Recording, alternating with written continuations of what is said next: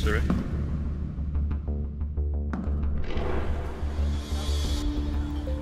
잠깐 피해 있어요. 연락할게요.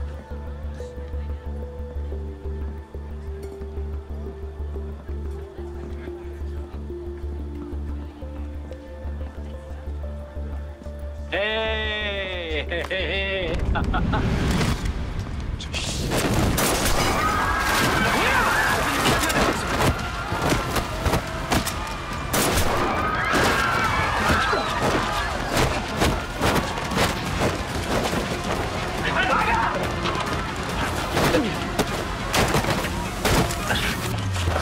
이쪽은 그득한의 복수가 있는 거야. 대단하다 강도요. 동네로 아주 코리아 타운을 만드셨어.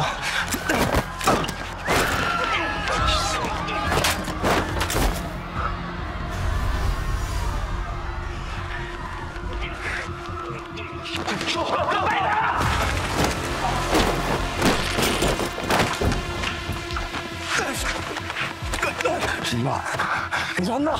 내 쪽에 이렇게 잡히는 거였어? 뭔 개소리야. 개소리 아니고는 살리는 소리야. 잘 들어. 이 아시장 끼고 가서 거기 인파에 최대한 섞여서 움직여. 세탁 나간다. 너 뻘짓하지면 바로 뛰어.